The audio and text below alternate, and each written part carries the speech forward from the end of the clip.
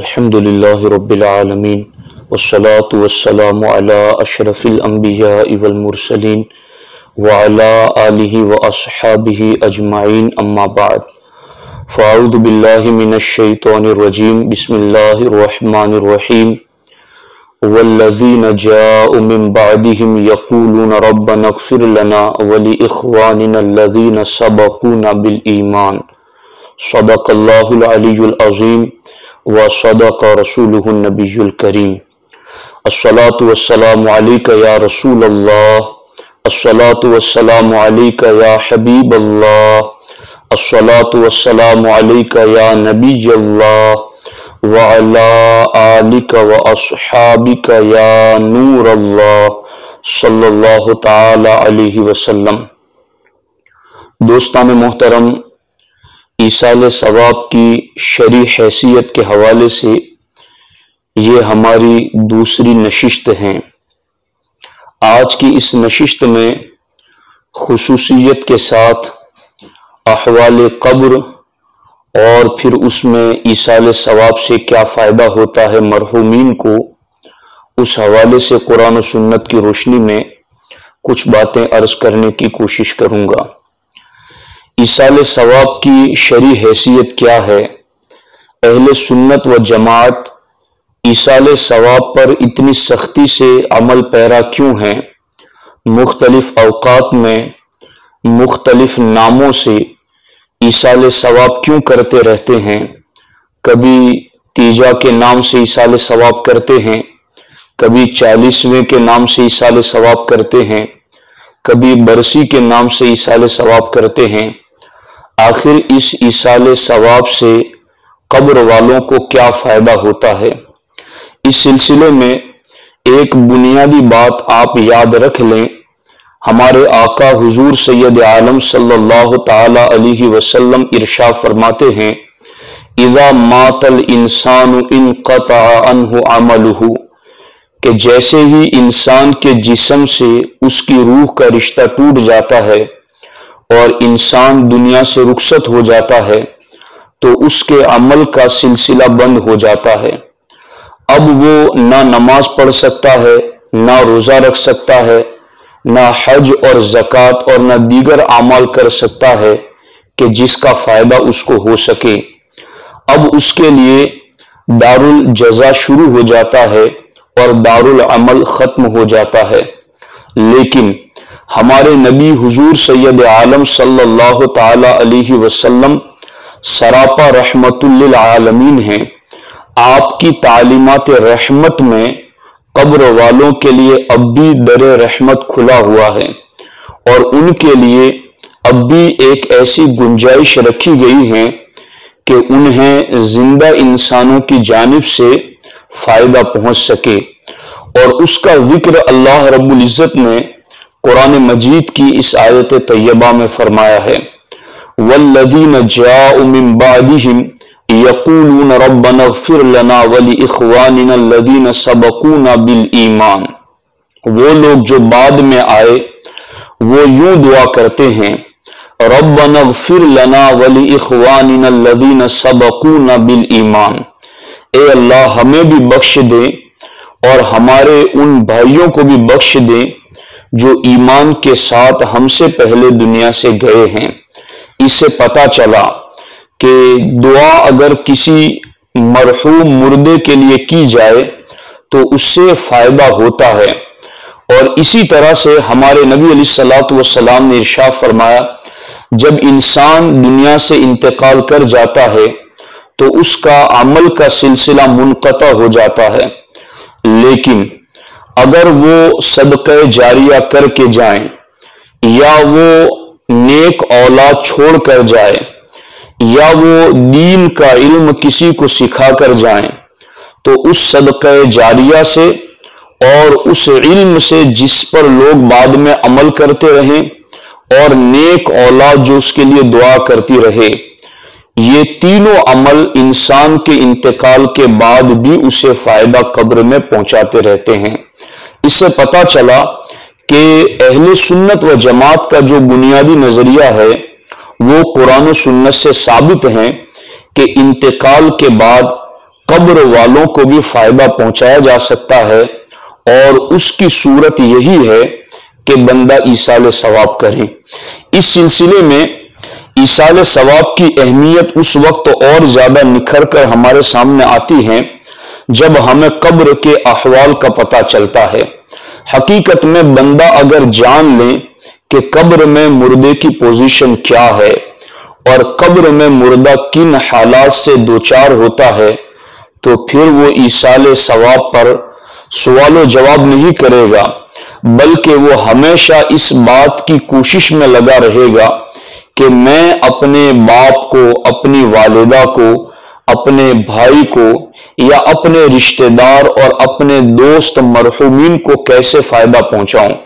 اس سلسلے میں کہ قبر کے حالات کتنے سخت ہیں، اللہ کے رسول صلی اللہ تعالی علیہ وسلم کی بارگاہ میں ام المومنین معاشہ صدیقہ رضی اللہ تعالیٰ حاضر ہوئی اور آپ نے بارگاہ رسالت میں عرض کیا، سألت رسول اللہ صلی اللہ تعالی علیہ وسلم عن عذاب القبر۔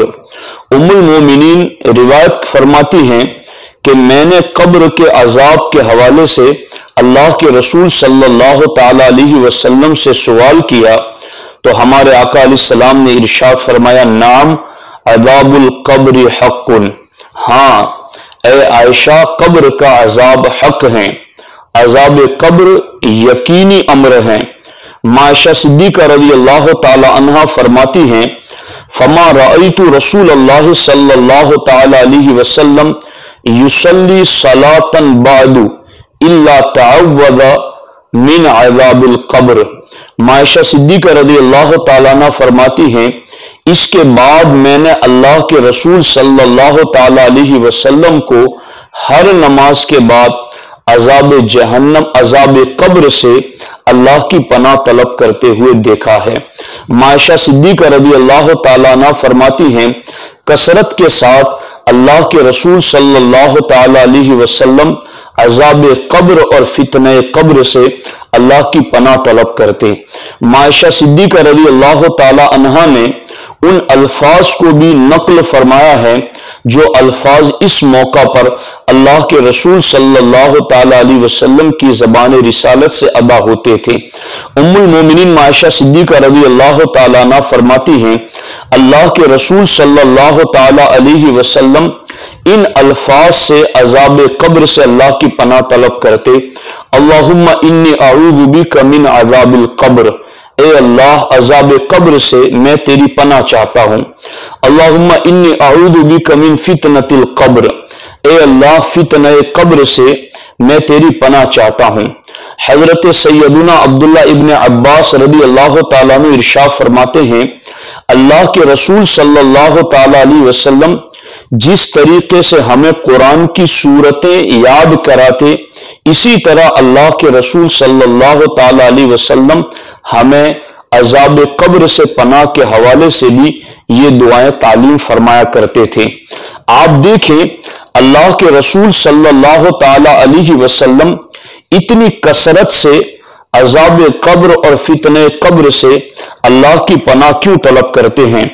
ام المومنین معاشہ صدیقہ رضی اللہ تعالیٰ عنہ ایک مقام پر روایت کرتی ہیں کہ اللہ کے رسول صلی اللہ تعالیٰ علیہ وسلم نے ارشاد فرمایا ایوہ الناس، استعیذ باللہ من عذاب القبر، فإن عذاب القبر حق۔ اے لوگو عذاب قبر سے اللہ کی پناہ طلب کرو۔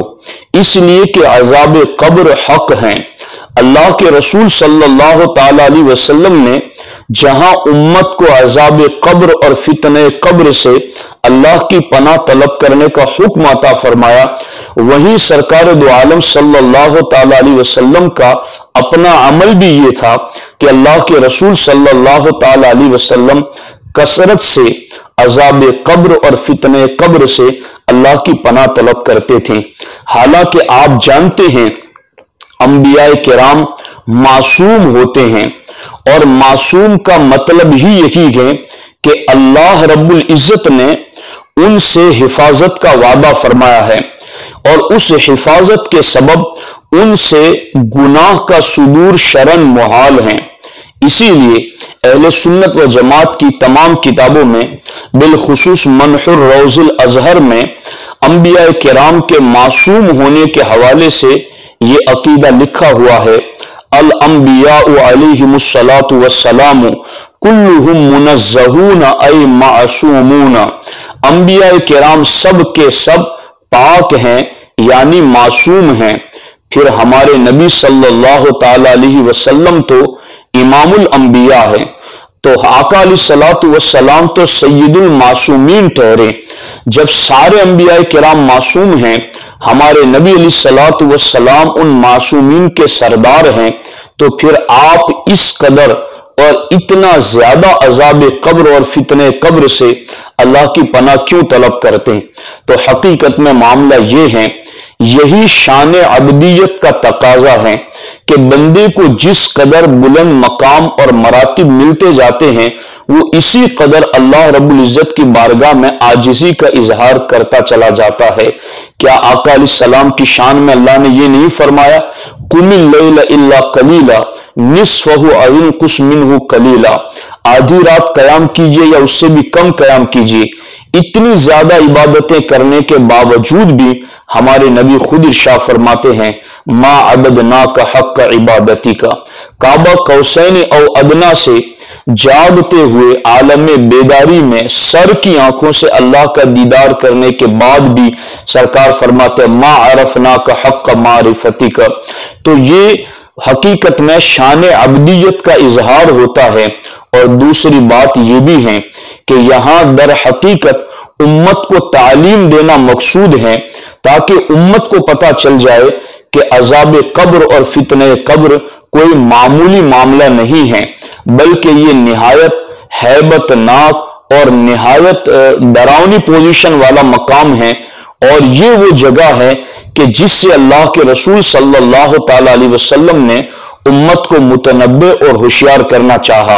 اسی لیے ہمارے آقا حضور سید عالم صلی اللہ تعالی علیہ وسلم ایک مقام پر ارشاد فرماتے ہیں، قد اوحی الیہ انکم تفتنون فی القبور قریبا من فتنت الدجال۔ اللہ کے رسول صلی اللہ تعالی علیہ وسلم ارشاد فرماتے ہیں، میری امت مجھ پر وحی آئی ہیں اور میرے رب نے مجھے بتایا ہے انکم تفتنون فی القبور قریبا من فتنت الدجال، کہ تمہیں قبروں میں قریب قریب فتنہ دجال کے آزمایا جائے گا۔ یعنی فتنہ قبر بھی فتنہ دجال کی طرح حیبت ناک اور خطرناک فتنہ ہے۔ اب آپ دیکھیں، اللہ کے رسول صلی اللہ تعالی علیہ وسلم نے قبر کی آزمائش کو دجال کے فتنے والی آزمائش کے قریب قریب قرار دیا ہے۔ اب میں آپ کی توجہ دلاؤں اس چیز پر کہ فتنے دجال کتنا شدید اور سخت ہوگا اور اس وقت لوگوں کی آزمائش کتنی سخت ہوگی۔ ہمارے نبی حضور سید عالم صلی اللہ تعالی علیہ وسلم ارشا فرماتے ہیں، ابن ماجہ شریف کی حدیث ہیں ہمارے آقا علیہ السلام ارشا فرماتے ہیں انہو لم تکن فتنة فی الارض منذ زرع اللہ ذریت آدم علیہ السلام اعظم من فتنة الدجال. اللہ کے رسول صلی اللہ تعالی علیہ وسلم ارشاد فرماتے ہیں، جب سے اللہ رب العزت نے حضرت آدم علیہ السلام کی اولاد کو زمین پر پیدا کیا ہے، تب سے لے کر کے قیامت تک دجال کے فتنے سے بڑا اور کوئی فتنہ نہ ہوگا۔ آپ دیکھیں، ہمارے نبی علیہ السلام کی تو شان یہ ہے، سرکار فرماتے ہیں، میں قیامت تک کے حالات کو یوں دیکھتا ہوں جیسے بندہ اپنے ہاتھ کی ہتھیلی کو دیکھتا ہے۔ قیامت تک کی ہر صدی، ہر سال، ہر مہینہ، ہر مہینے کا ہر ہفتہ اور ہر دن، ہر منٹ اور ہر سیکنڈ۔ اللہ کے رسول صلی اللہ علیہ وسلم کی نگاہوں کے سامنے ہیں اور سرکار نے بڑے بڑے فتنے اپنی امت کے سامنے بتائیں کہ یوں یوں فتنے آئیں گے اور یوں یوں قرب قیامت اس طرح سے فتنوں کا اظہار ہوگا۔ مگر سرکار فرماتے ہیں، قیامت تک اولاد آدم کے لیے زمین پر جو فتنے ہوں گے، ان میں سب سے بڑا فتنہ دجال کا فتنہ ہوگا۔ اور دجال کے فتنے کا معاملہ حدیث پاک میں ایک جگہ یوں بھی ہے۔ ہمارے نبی علیہ السلاۃ وسلام ارشا فرماتے ہیں انہو یبری الاکمہ والابرس ویحیی الموتا دجال کا معاملہ یہ ہوگا، وہ ہاتھ پھیر کر کے کوڑیوں کو ٹھیک کر دے گا۔ وہ مادرزاد اندھوں کو انگلیاں پھیر کر ٹھیک کر دے گا۔ اور وہ مردوں کو جلائے گا، گردن توڑ کر مار دے گا اور ٹوٹی ہوئی گردن کو جوڑ کر جلا دے گا۔ آسمان کو حکم دے گا، بارش برسائے گا۔ زمین کو حکم دے گا، زمین سبزے اگائے گی۔ جن ویرانوں سے وہ گزرے گا، وہاں کے ویرانوں سے بھی جو خزانے دفن ہوں گے، وہ بھی شہد کی مکھیوں کی طرح جھنڈ در جھنڈ اس کے ساتھ چلنا شروع کر دیں گے۔ اب آپ دیکھیں اس وقت کتنی بڑی آزمائش ہوگی۔ یعنی اس کو آپ یوں سمجھ سکتے ہیں کہ آج اگر کوئی کسی جالی کے ہاتھوں پر یا کسی شپلی علم کرنے والوں کے ہاتھوں پر کوئی کرشمہ، کوئی شوبدہ دیکھ لیتا ہے تو پھر وہ اس کا غلام بن جاتا ہے۔ پھر وہ نہ اس کے عقائد دیکھتا ہے، نہ اس کا عمل دیکھتا ہے، نہ اس کا فسق و فجور دیکھتا ہے، بلکہ ہمیشہ اس کا پرچارک بن جاتا ہے اور لوگوں میں بھی اس کی شوبدہ بازی کو جو کرامات کے لیول میں لوگوں کے سامنے پیش کرتا رہتا ہے، خود بھی گمراہ ہوتا ہے اور دوسروں کو بھی گمراہ کرتا ہے۔ تو جب زندگی میں ایک بار اگر کسی سے کوئی خلاف عادت بات دیکھ لیں تو اس میں اتنی بڑی آزمائش ہوتی ہیں دجال کی آزمائشیں کتنی زیادہ سخت ہوگی اس وقت لوگوں کا ایمان کس قدر آزمائش میں ہوگا کہ وہ ساتھ میں جنت و جہنم بھی لے کر پھر رہا ہوگا۔ کہ جس جو جو اس کو مانے گا، اس کو اپنی جنت میں ڈالے گا، جو حقیقت میں جہنم ہوگی۔ اور جو اس کا انکار کرے گا، اس کو اپنی دوزخ میں ڈالے گا، جو حقیقت میں جنت ہوگی۔ تو اس قدر آزمائشیں دجال کے فتنے میں ہوں گی۔ اب ہمارے نبی علیہ السلام ارشاد فرماتے ہیں، قبر میں آزمائشیں بھی اسی طریقے سے ہوگی، جس طریقے سے دجال کے فتنے کے وقت ہوگی۔ یہاں پر ایک بڑی پیاری بات حکیم الامت حضرت علامہ مفتی احمد یار خان نعیمی رحمت اللہ تعالی علی نے ذکر فرمائی ہیں۔ میرت المناجے میں آپ ارشاد فرماتے ہیں کہ اللہ کے رسول صلی اللہ تعالی علیہ وسلم نے فتنہ قبر کو فتنہ دجال سے قریب ترین فتنہ قرار دیا۔ اس کی بنیادی وجہ یہ ہے کہ دجال بھی یہ سارے شوبدے اور کرش میں دکھا کر خدائی کا دعویٰ کرے گا۔ اور ادھر قبر میں جب سوال ہوگا مر ربو کا تو شیطان قبر میں آ کر کہے گا کہ میری طرف یعنی مجھے اللہ کے، مجھے رب کہہ دے۔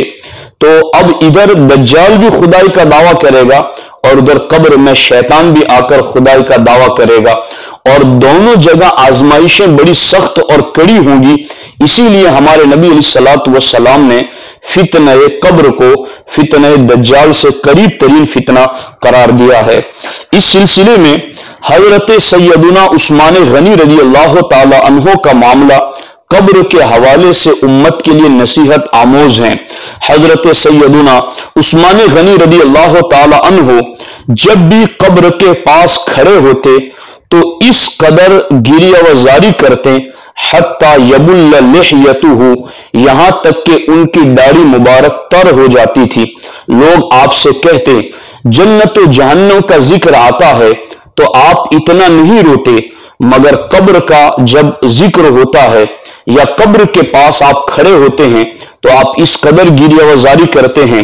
تو حضرت عثمان غنی رضی اللہ تعالیٰ عنہ ارشا فرماتے ہیں کہ اللہ کے رسول صلی اللہ تعالی علیہ وسلم نے ارشاد فرمایا ہے، ان القبر اول منزل من منازل الاخرہ اللہ کے رسول کا فرمان ہے صلی اللہ تعالی علیہ وسلم کہ قبر آخرت کی منزلوں میں سے پہلی منزل ہیں فَإِن نَجَا مِنْهُ فما بعده ایسر منه۔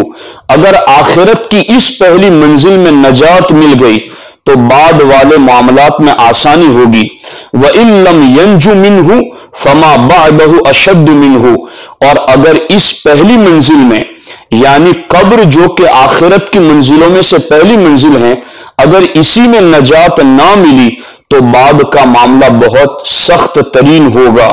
ہمارے آقا علیہ السلام نے ارشاد فرمایا، ما رأیت منظرا قط الا القبر افضع منه اللہ کے رسول صلی اللہ تعالی علیہ وسلم فرماتے ہیں کہ میں نے کوئی منظر قبر سے زیادہ وحشتناک نہیں دیکھا۔ یعنی قبر کا منظر سارے منظروں میں سب سے زیادہ وحشتناک منظر ہیں۔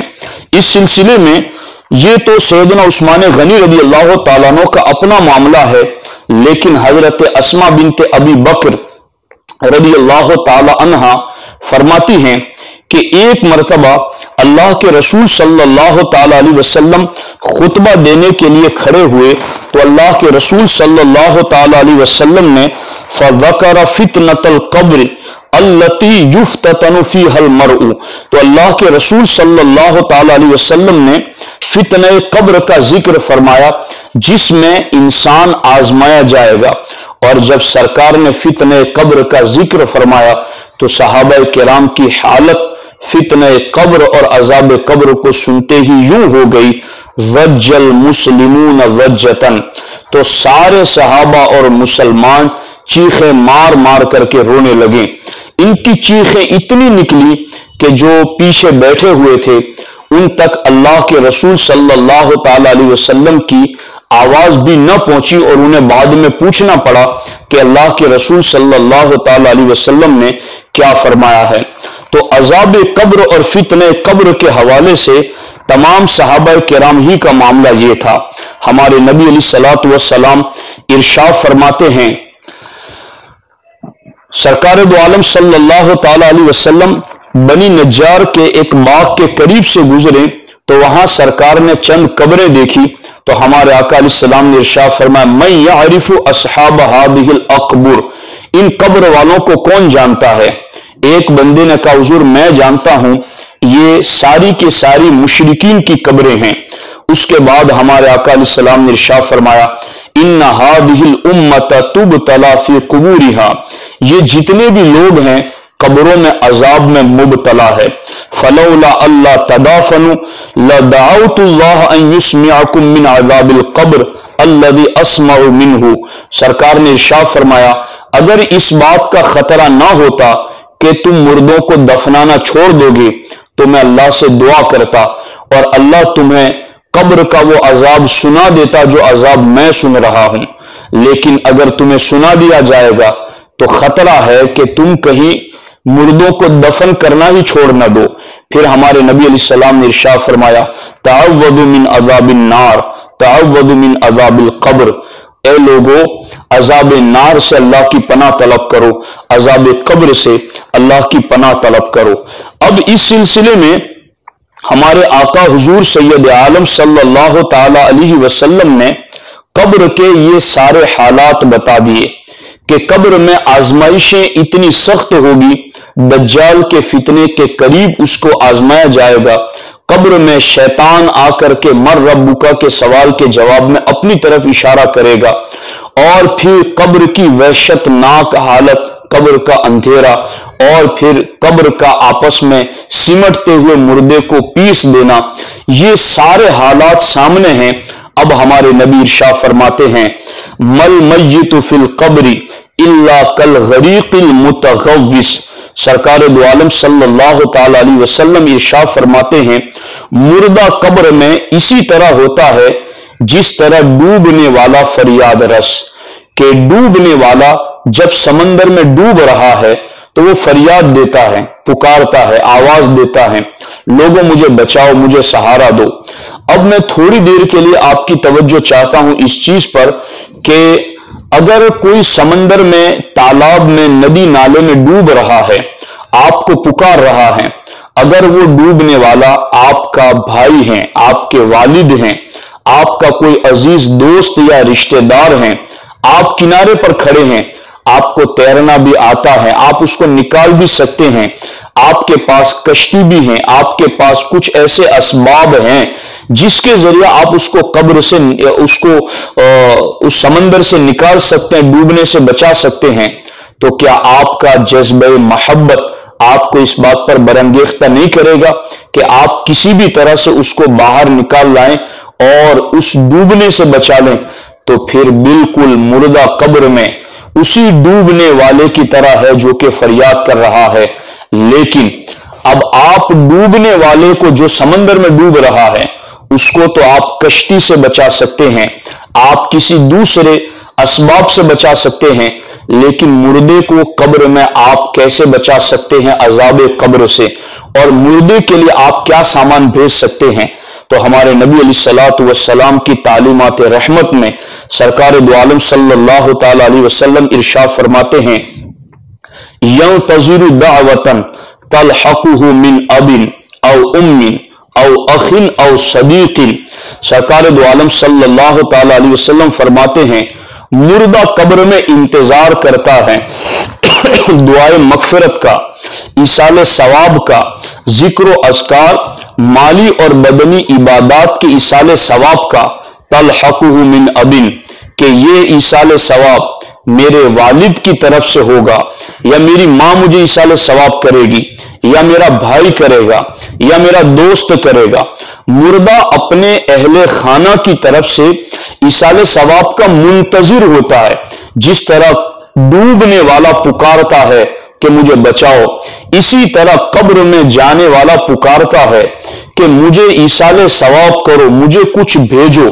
اور جب آپ اہل ایمان کو کچھ ایسال ثواب کر دیتے ہیں، تو پھر کیا ہوتا ہے؟ فعیدہ لحقت ہو کانت احب الیہ من الدنیا وما فیہا ہمارے آقا علیہ الصلوۃ والسلام ارشاد فرماتے ہیں، جب والد ماں، بھائی اور دوست اور رشتہ داروں کی طرف سے یا اہل ایمان کی طرف سے اسے ایسال ثواب کا تحفہ ملتا ہے کانت احب الیہ من الدنیا وما فیہا، تو اس مردے کے نزدیک دنیا اور مافیہ سے زیادہ محبوب وہ ایسال ثواب کا تحفہ ہوتا ہے۔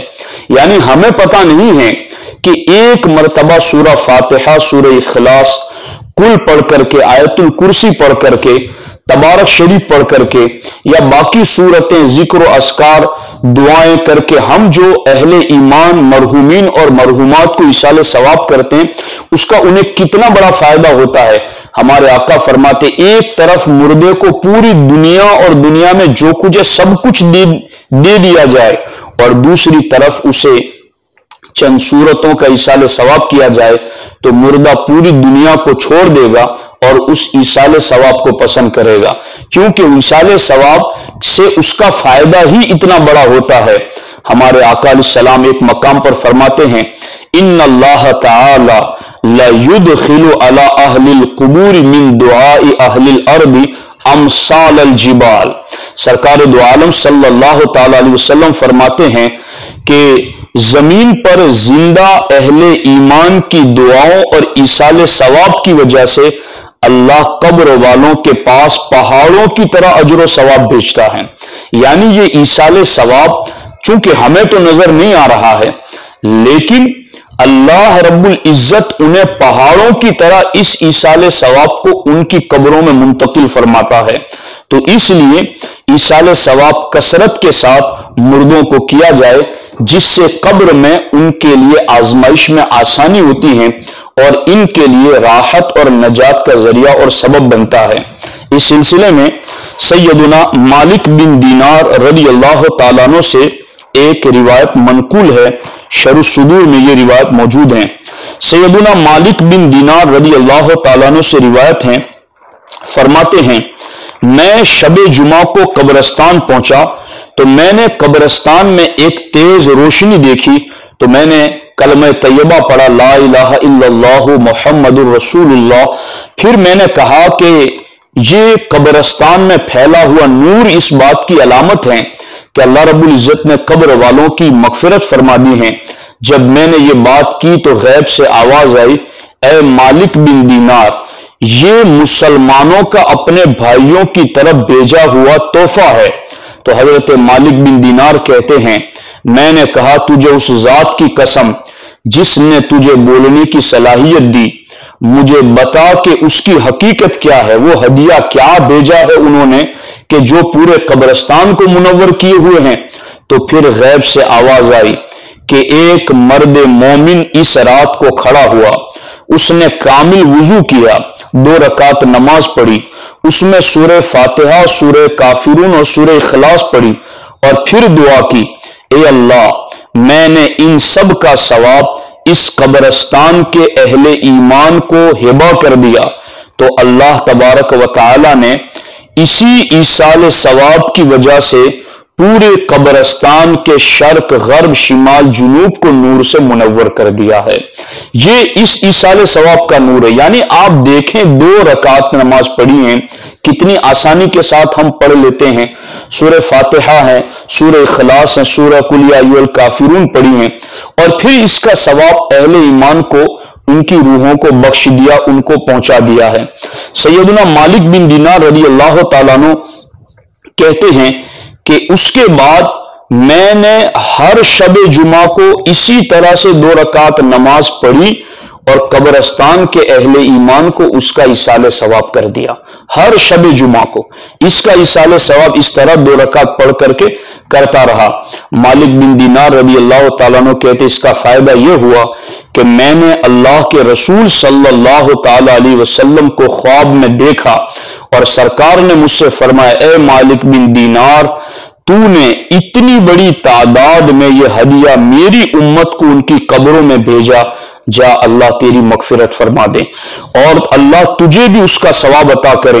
اور اللہ تجھے جنت میں ایک محل عطا فرمائے گا، جس کا نام منیف ہے۔ اور یہ جنت کے بلند ترین محلات میں سے ہیں۔ آپ غور فرمائیں کہ دو رکعت سورہ فاتحہ، سورہ اخلاص اور سورہ کلیہ الکافرون کا ثواب اتنا عظیم ہے کہ پورے قبرستان کو روشن اور منور بھی کر دیتا ہے اور شب جمعہ کو اگر کوئی اس کی پابندی کرے تو مالک بن دینار کو ہمارے نبی علیہ السلام نے اپنے دیدار کا بھی شرف عطا فرمایا ہے۔ اس سلسلے میں ہمارے آقا حضور سید عالم صلی اللہ تعالی علیہ وسلم نے ارشا فرمایا، جس قوم کا آدمی انتقال کر جائے اور وہ اس کی موت کے بعد صدقہ دے یعنی جس قوم کا آدمی انتقال کر جائے، اس قوم کے لوگ، اس کے اہل ایمان، رشتہ دار، دوست، احباب، اس کی موت کے بعد اس کی طرف سے صدقہ دے، تو جبریل امین اس صدقے کو نور کے طبق میں ہدیہ لے کر کے قبر کے کنارے پہنچتے ہیں اور کہتے ہیں، اے گہری قبر والے، یہ ہدیہ ہے جو تیری طرف تیرے اہل نے بھیجا ہے، تیرے گھر والوں نے بھیجا ہے۔ جب وہ متوجہ ہوتا ہے تو پھر وہ ہدیہ اس کی قبر میں داخل ہوتا ہے اور اس سے وہ خوش ہوتا ہے اور بشارت حاصل کرتا ہے اور اس کے پڑوسی رنجیدہ ہوتے ہیں جن کی طرف کوئی ہدیہ نہیں بھیجا جاتا۔ یعنی جن اہل ایمان کی قبروں میں عیسال ثواب کے بعد انہیں انہیں اسال ثواب نہیں کیا جاتا تو پھر وہ رنجیدہ ہوتے ہیں اور جن کی قبروں میں اسال ثواب کیا جاتا ہے، وہ اس سے لطف اندوز ہوتے ہیں۔ ہمارے آقا علیہ السلام نے ایک مقام پر فرمایا، ان اللہ تعالی لیرفع للعبد الصالح فی الجنہ کہ اللہ رب العزت ایک نیک بندے کا جنت میں درجہ بلند کرتا ہے۔ فیقول تو وہ بندہ کہتا ہے، یا ربی، اے میرے رب، انا لہذی میرا یہ درجہ جنت میں کیوں بلند ہوا ہے؟ فیقول تو اللہ رب العزت فرماتا ہے بھی استغفار ولدی کا تیرے بیٹے کے تیرے لیے دعائے مغفرت کرنے کی وجہ سے۔ یعنی تیرے بیٹے نے تیرے بعد تیرے لیے اسال ثواب کیا ہے، جس کی وجہ سے تیری تیرے درجے کو اللہ رب العزت نے جنت میں بلند کیا ہے۔ اس سلسلے میں ایک آخری بات ارز کر کے گفتگو کو ختم کرتا ہوں کہ یہ سارے کا سارا ایسال ثواب اس کا فائدہ صرف اہل ایمان کو ہوگا۔ یہ بھی قرآن کی آیت ہی میں اللہ رب العزت نے ذکر کیا۔ اللہ نے ان لوگوں کی تعریف کی جو اہل ایمان کے لیے مغفرت کی دعا کرتے ہیں۔ رب نغفر لنا ولی اخوان الذین سبقونا بالایمان۔ ایمان کے ساتھ جو دنیا سے گئے ہیں، ان کے لیے ایسال ثواب فائدہ مند ہوتا ہے۔ اسی لیے اہل ایمان ہی ایسال ثواب پر زور دیتے ہیں، چونکہ فائدہ انہی کو ہونا ہے۔ اس سلسلے میں ابو داؤد شریف کی ایک حدیث ہے، حضرت امر بن شعب رضی اللہ تعالیٰ نے فرماتے ہیں کہ آس بل وائل نے وسیعت کی تھی کہ اس کی طرف سے سو غلام آزاد کر دیے جائیں۔ تو آس بن وائل کے ایک بیٹے ہشام نے پچاس غلام آزاد کر دیے اور دوسرے بیٹے عمر نے پچاس کو آزاد کرنا چاہا۔ تو پہلے سرکار دو عالم صلی اللہ علیہ وسلم کی بارگاہ میں پہنچے اور حضور کی خدمت میں حاضر ہو کر عرض کیا، حضور، میرے والد نے سو غلام آزاد کرنے کی وسیعت کی تھی اور میرے بھائی ہشام نے پچاس آزاد کر دیے ہیں اور پچاس باقی ہیں۔ کیا میں وہ پچاس آزاد کر دوں ان کے نام پر؟ تو ہمارے آقا علیہ السلام نے ارشاد فرمایا، اگر وہ مسلمان ہوتا تو تم ان کی طرف سے آزاد کرتے، یا صدقہ کرتے، یا حج کرتے تو اسے پہنچتا۔ لیکن اگر وہ مسلمان نہیں ہے تو تمہاری طرف سے عیسال ثواب کا انہیں کوئی فائدہ نہیں ہوگا۔ تو حاضرین، آج کی اس نششت میں میں خصوصیت کے ساتھ آپ کو اس چیز کی طرف توجہ دلاتا ہوں کہ قبر میں بڑی آزمائشیں ہیں اور مردہ سخت حالات سے گزرتا ہے۔ آپ اس کی مدد صرف اسی طرح کر سکتے ہیں کہ آپ انہیں ایسال ثواب کریں۔ اس لیے ایسال ثواب کا کثرت سے اہتمام کریں۔ اللہ رب العزت ہمارے تمام اہل ایمان مرحومین اور مرحومات کی مغفرت فرمائے۔ السلام علیکم ورحمۃ اللہ وبرکاتہ۔